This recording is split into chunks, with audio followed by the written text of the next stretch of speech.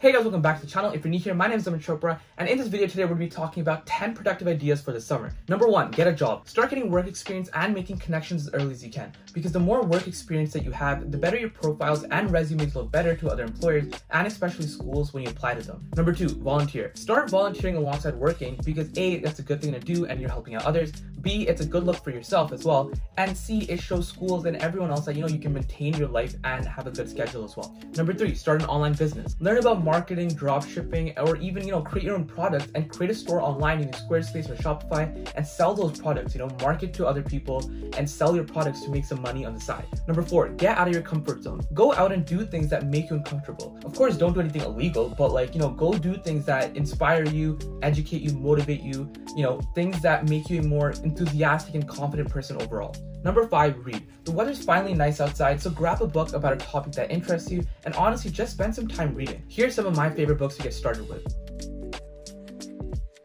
Number six, go to the gym. Most of you guys that are watching right now are probably free, so why not spend that time to go to the gym and, you know, get some gains? I mean, it's hot and you're gonna sweat anyway, so why not work out, you know, and build muscles in the process? Number seven, join a sports team. If going to the gym is not your cup of tea, then, you know, joining a sports team or a sports club is a great thing to do, especially if you're into soccer, volleyball, or basketball. They're super easy to find, so give it a shot and see how that suits you. Number eight, redesign your bedroom. If you ever had that like random thought at 2 a.m. in the morning of redesigning your entire like bedroom layout, use the time in the summer to do so because now is better than ever. I did this a bit earlier in the year when I got my monitor, which you can watch right here in the video above, but you know, it was definitely worth it. Number nine, start a YouTube channel. Honestly, just do it. Start a channel and document the things that you do, the places you go, the people you meet, etc. It's so simple. All you need is your phone. You set a film, upload, and you're good to go. So try it and see where it takes you. And finally, number 10, rest and enjoy. At the end of the day, it is summer break, so make sure you guys have fun and stay productive, but also take the time to rest and enjoy the actual summer. If you like this video, please hit subscribe down below so we can hit 100 subscribers.